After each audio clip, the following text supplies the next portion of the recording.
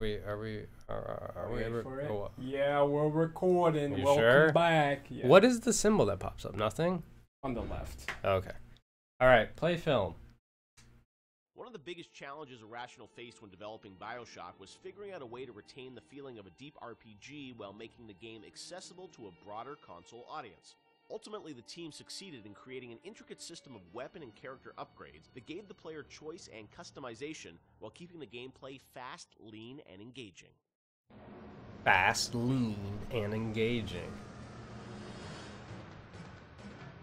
They really didn't make this high bit rate at all. I know. I, why does it have to look like garbage? I know exactly.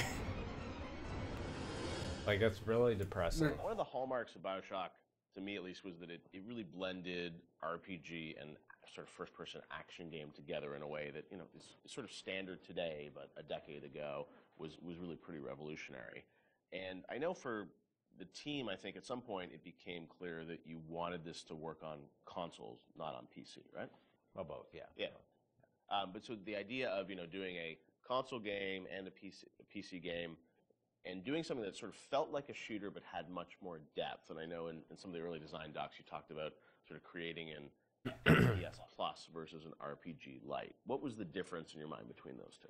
I think for us is the game of the big difference between System Shock and Bioshock ended up being that System Shock was more about your character growth and Bioshock was more about the environment. Because with System Shock, we really didn't have System Shock 2. We didn't really have the either the our team to make enough assets or the visual power to sort of make a, comp- a really convincing environment. But as we started working on Bioshock, the art team was so strong that the ability to tell a story within the environment became the most important thing about the game. And that was sort of not something we thought right at the beginning. That was not really a concept we had. But as we started building things, we could realize that the visual world was the star of this thing. The rapture was really the star of this thing. And telling the story outside of cutscenes, telling it in the world, so the gamer could ex- discover the story rather than us telling him the story, telling him or her the story. And it was still very much for the time, uh, I think for the time, quite different than what you had seen in terms of there wasn't a lot of growth in shooters. So Right. it was still, I think, for the time, very, very revolutionary. There still isn't. But No, I there's think System. Shock 2 was even more ahead of its time in terms of One of the uh, people that did something thing. different. Sure. Um, because you focused a little bit primarily, part of it was just figuring out how to do that all on a console controller was, was very tricky.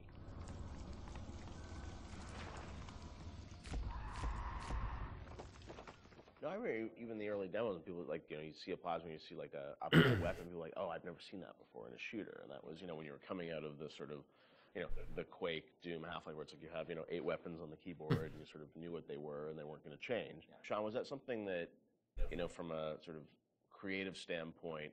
Was it always clear that that was something you guys wanted to do, or it evolved over time because you wanted to have more depth in the game?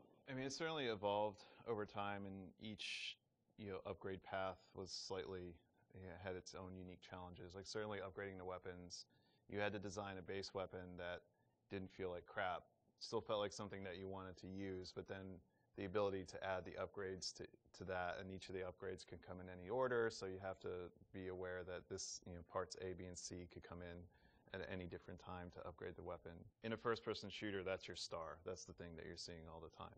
When it comes to other things, plasmids, uh, things that are, you know, Tonics. tonics. Yes, sorry, it's been a while. Come on, Sean. I know it's ten years. Those things were more offloaded to machines that you would then have to interact with, so you're not carrying the inventory around with you.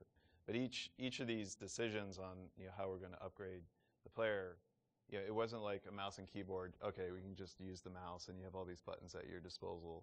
You could Yeah. arbitrarily point at a part of the screen really Yeah. easily, which you could do in System Shock too. Yeah, so we certainly you know learned trial by fire when we were trying to adapt these things to the console at the time. Yeah, and like having you know different ammo types and stuff like that. Like we went through numerous, numerous iterations of the interface to make it. Uh, like we had the first times know we sort of put the interface into play. It was very obtuse and very tricky to get your head around, and we just kept working on it and working on it and working on it because you want to feel like second nature. And but that was we- we spent a lot of time on that.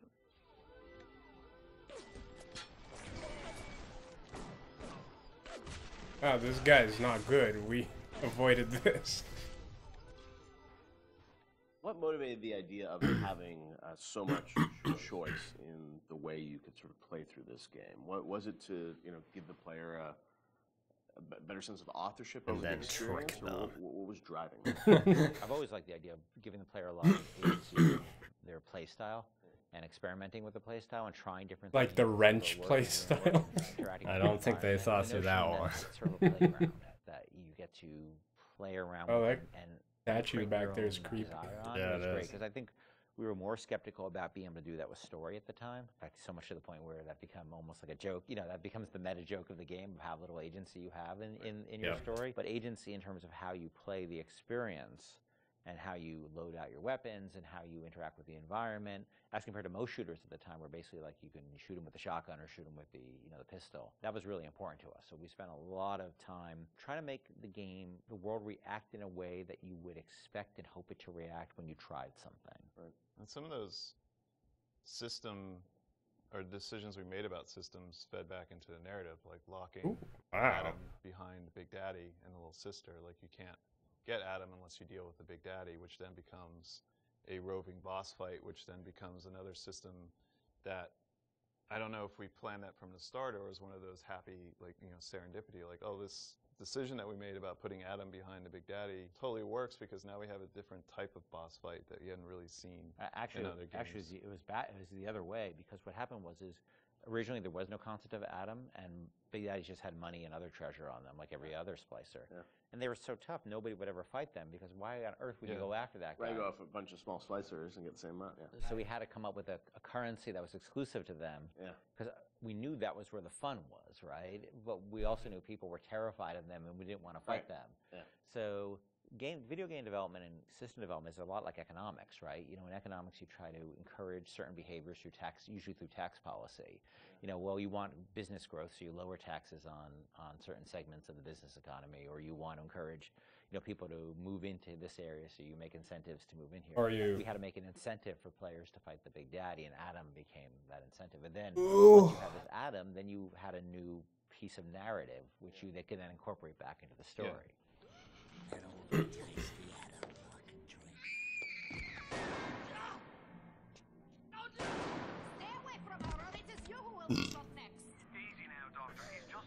E bit of Adam. enough to get by. I'll E. not have him hurt my little ones.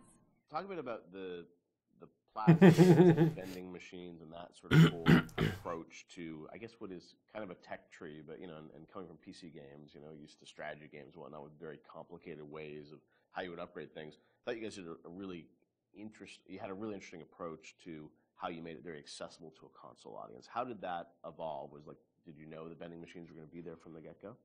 Well, we had vending machines in System Shock 2, so we were sort of lifting that, and I always thought that was a fun. Um, it was a fun notion to because it's a it's a affordance that people already understand. You know, they see a machine, a vending machine, they know immediately, oh, that's where I buy stuff, right? Yeah. And you also then have to have a shopkeep. When we talked about wanting to make things, put limitations on ourselves so things felt fully believable. Yeah. If we had a shopkeeper sitting there, you can't shoot him. He sits there, he doesn't say anything. And all of a sudden he feels fake. Where a vending machine, the Circus of Values machine, can feel 100% authentic, you know, despite the fact that it's selling like ammo and stuff like that, you know, which is, uh, you know, But in an objectivist society where you don't have rules and regulations Right. on You that have type that. of thing, That's it, it feeds back into the narrative. but you don't then break the fiction of it by having these characters who sort of don't really br- live and breathe in the world. So the vending machines became an important part of that, but we still want to give them character, and hence the cl- you know, and so that clown image came from a piece Do of the uh, voice. That image is actually from like a fruit container or something Uh-huh. from like the 1940s. Okay. And uh, so we had a book of like royalty-free images, and I saw that image, and I'm like, let's call, let's put that clown on, it, and we'll call it Circus of Values. And then you know, we wrote a line, some lines for it. Decided he'd be this sort of asshole clown, and then um, then we hired the best actor in the world to play that part. That was that was me. Uh, what I cost my biggest Avengers, I didn't cost anything. Um, I didn't know you were really. I that's was a clown. voice. Yeah, I no. was a clown. Um, Do it. Head every day. the- my wife hates that voice. She hates that voice. You can give us a little of it right here. Welcome to the Circus of Values. She does not allow me to do that, so I, Oh, I okay. do it outside of the house. Okay. But it, it allowed us to it allowed us to have something that felt very rich and very real, while being very limited at the same time.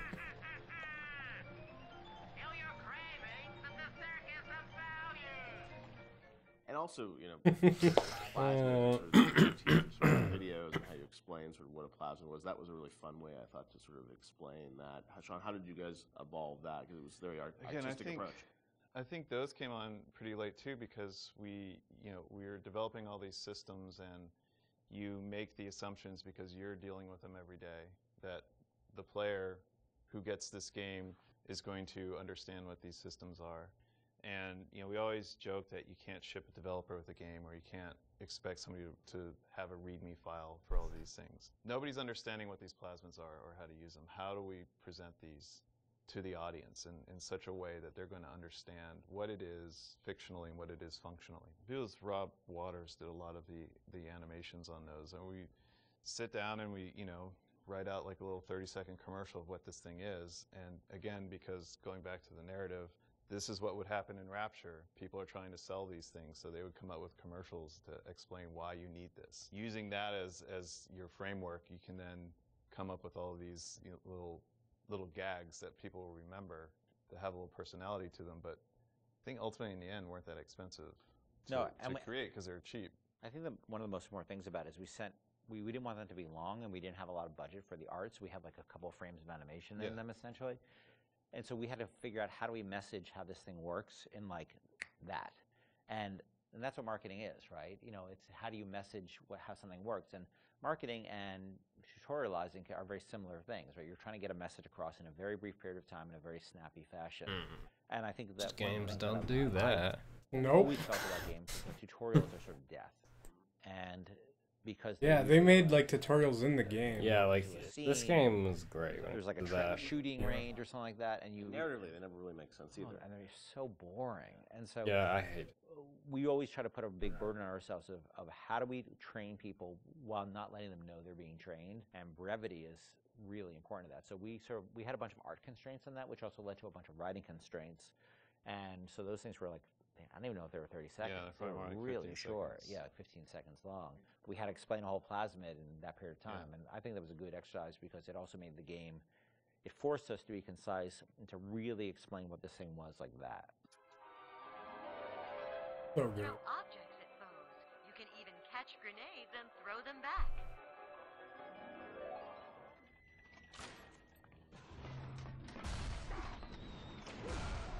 We could just do that It's true. We could just walk around. instead of doing it the complicated.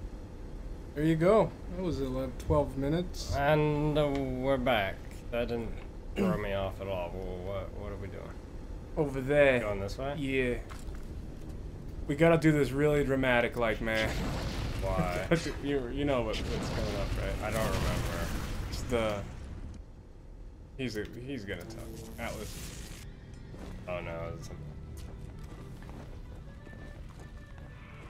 You got it. Should be smooth sailing from here. oh yeah, I'll meet this. you up ahead. Okay. Yep. The turning point of the game, as it were. Smuggler's hideout. Da da da da. This is where we get to run scot free.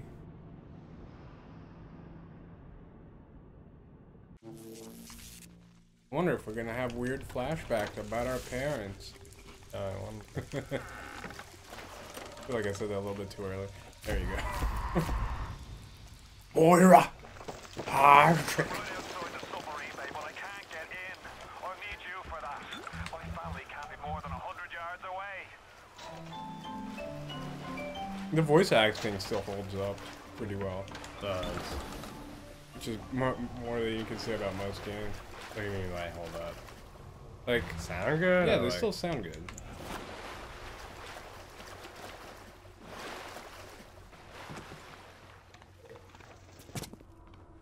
Uh, is that a recording? Jeez. I, I, I, I, Hey, you can also pay for these. Interesting. Instead of hacking them. But that's lazy. That is capitalism.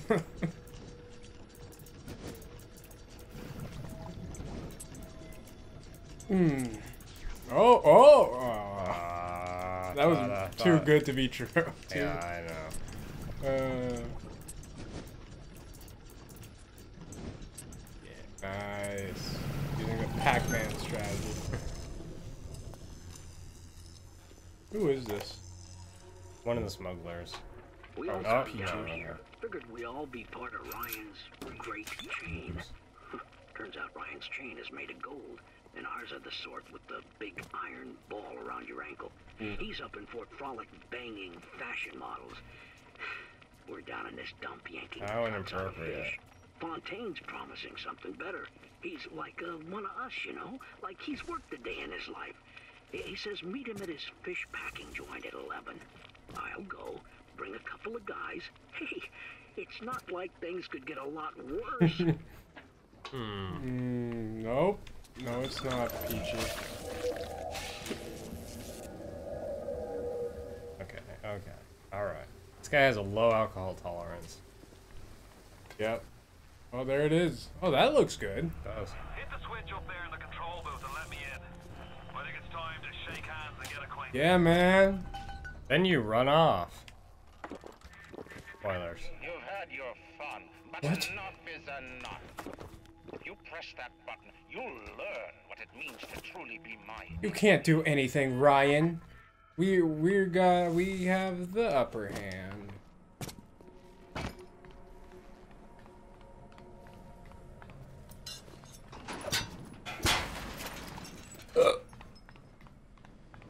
A dude in here? Not yet, that's?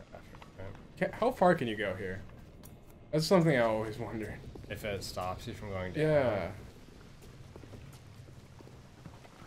Like, does something Not happen? exist?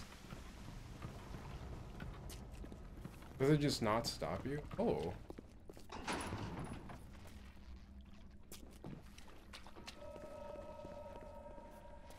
Huh. Never really done this. Can you hear me, family in the sub? Are they making any Oh, noise that's really cool. I never heard that. I don't think they are making any noise. They're not there. Oh, can you turn it on on the yellow panel? No. Alright. Would be really cool if you can... This game is no good. Oh, there's a recording there. I just jump right here?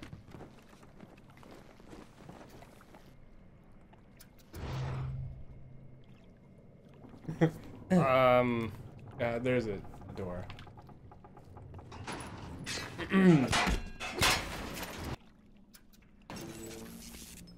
wonder who this is.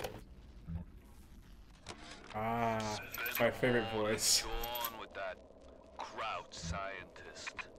She's damaged goods, alright. Just like all those chumps they scraped out of them prison camps. But she's no crackpot. She's gonna make me the kind of scratch that'll have Ryan look like he's running a paper route. She just needs some supplies to get the ball rolling and a friend to watch her back. She just need a bang. Whatever he's. Alright. what? No! What's going on? Oh no, this is intended. Forget my reaction. there he is. You blow a fuse up there! I'm not over here. I'm over here, dude. Give me a pick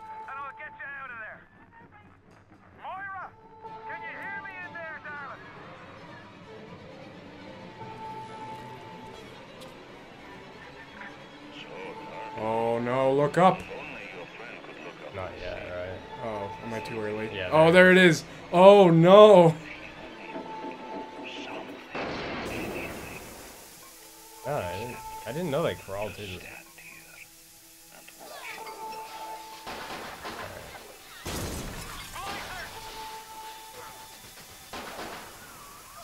everywhere. I can't hold them. Got to fall back. Get me family out and we'll regroup as soon as we can. Whoa. Do we not have? Yeah, we need to. Yeah, that picture though. What? That was It's because you didn't get her fully on All that. right, come on, come on. Whoa. Whoa. Who's on the ceiling? You could have dropped down. Come on. What did we get? Uh, oh, nice. Whoa, that was a good picture. Pretty close. Here. I get it. dude. Whoa. Giving it a lot.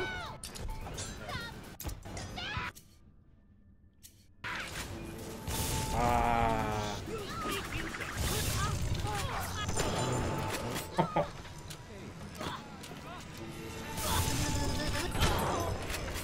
oh yeah, the wrench is back Oh, oh yeah. on. OP fashion.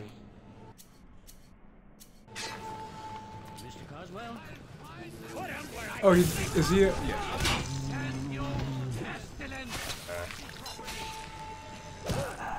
I don't even really need to. Yeah. Oh yeah. Also, this is the end for me, if you don't mind. Oh yeah, that's fine. That's- that's- anyway. I just want to hear him say the line. Uh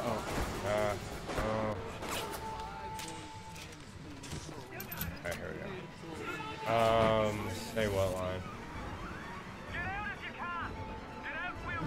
The.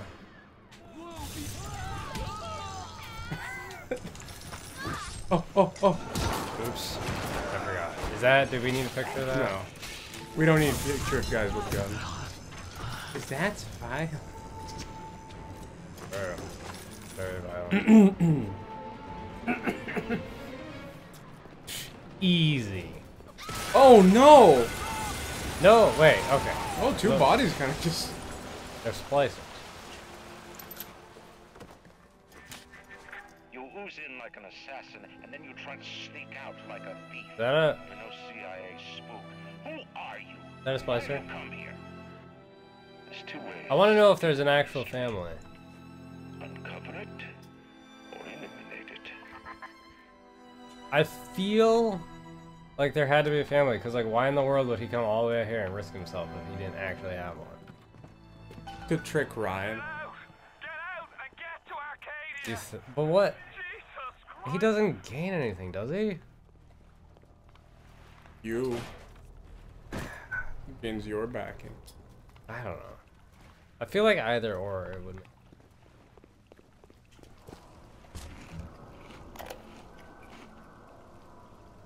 Ooh, who is this? Peachy. Irish pork pie offered me a deal. pie? I flip him Fontaine and I walk out of here. That simple. How do I know that fat fuck isn't Fontaine? Oh. Jeez. I know they're not all Fontaine's got. Fontaine's got Adam, and everybody wants it. Ryan's got a whole lot of talk and a nice suit. Even down here, any idiot can see which way the wind is blowing. A wind? Wait, can you do that with the shotgun? The aim down? No. Makes sense. Can you aim down with the wrench? Oops. Alright.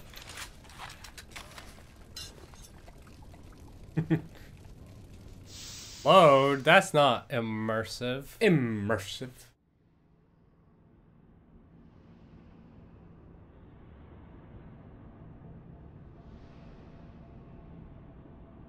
Hmm.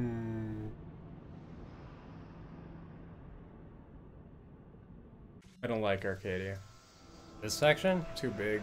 Oh, I hate it. It's a Um, very confusing map. no, oh, I- my favorite line. My favorite line. this is one of like the flowers and plants and stuff?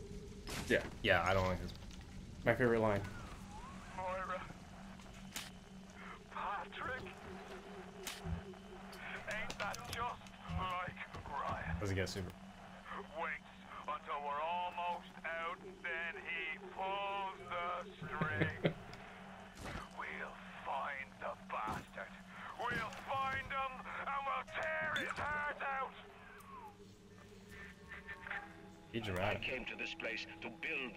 The impossible. You came to rob what you could never build. A hum. Oh, Keeping it that's how capitalism works. Even the air you breathe is sponged from Does this look Oh. better? Eh. I love You might remember how that line lines up with you opening the door. You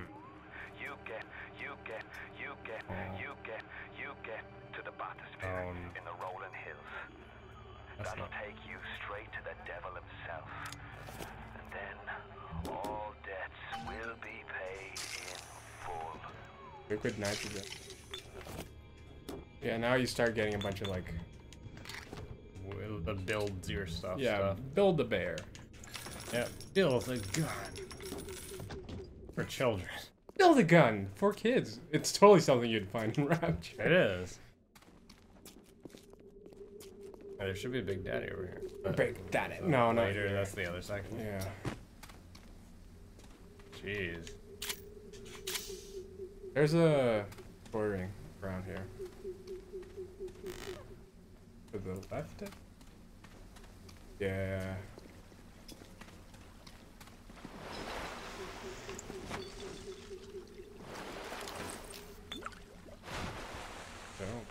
In the water, you know? Yeah. That's gonna work. There we go. Seems like some poor blighters have started what's seeing that? ghosts. Ghosts? Ryan tells me it's a side effect of this plasmid business.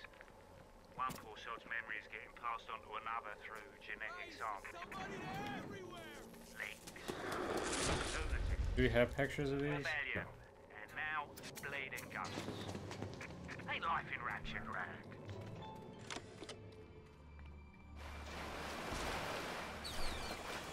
What was that? Oh, right be right, right under you. Right under you. Right. Uh, Eve. Oh. No, I was wondering why was there dripping? Does that mean Oh, someone I don't was know. running in there? I don't know. That was weird. I think because it, uh...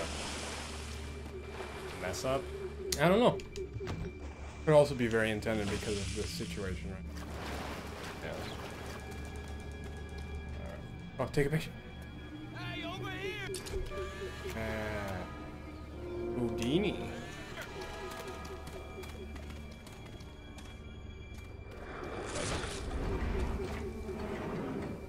There's... I don't remember there being a door there. Alright, alright, you ready? What? Am I ready for what? Look up! There's a shatter! Oh my... Oh no! say it! Say the line! How many pictures can you get?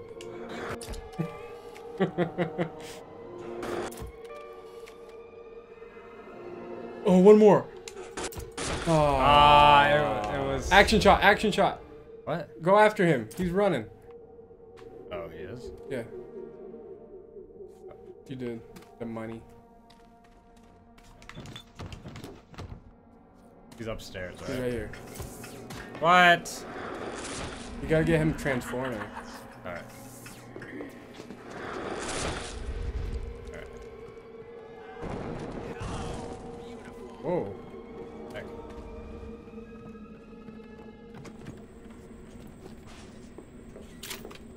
Someone behind you? Surprise! Yeah. Oh.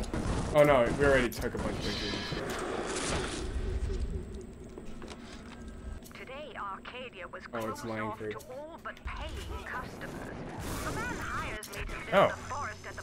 ocean and remember. then turns a walk in the woods into a luxury. A walk in the wood into a Should lock. a farmer not be able to sell his Ooh. food? Is a potter not entitled to a profit from his pot? I started to argue with the man, and then I remembered who signed my checks. The only thing uh. worse than a hypocrite is an unemployed one. Yes, hmm. that would make you a parasite. Somebody there? Oh? Just for winners. You know, It's picture time. Oh, are these pictures? I think the girl, yeah, it's not the guy though. Haha! What's what are these called? Thuggish. Hey, hey, hey, come on. Nice shot. Nice shot.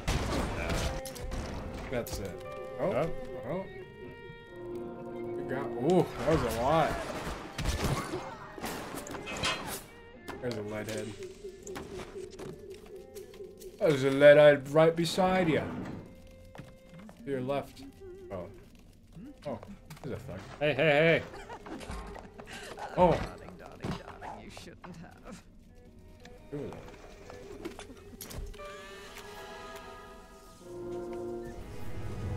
Today's dangerous times. It never hurts to be a little faster. Oh, this is a good one. Swing a wrench faster. Oh yeah. Oh. you don't need. Yeah. Yeah, they're more powerful. Uh, another one? Oh. No, there's a turret Oh. right behind that wall. Here? No, that wall. Yep. Right.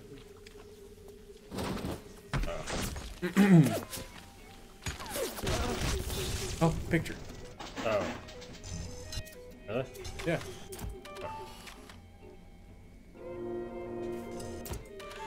Nice. I think it got the level. Yes.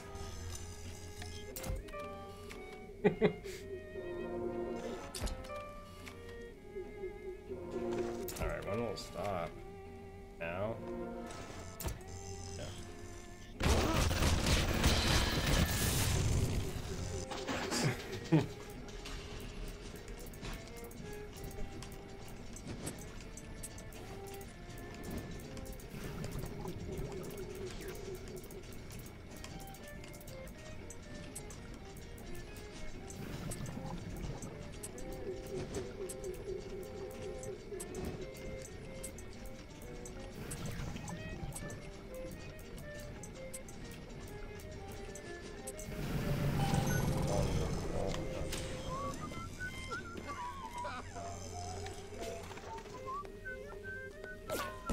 Oh.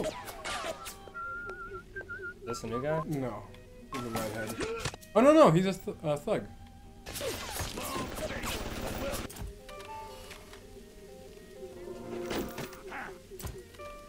Do some actions, thug. Come on, come on, come on. That action? Is it that's action. Oh. Okay. That didn't. Yeah. That was a not that good. Really? Alright.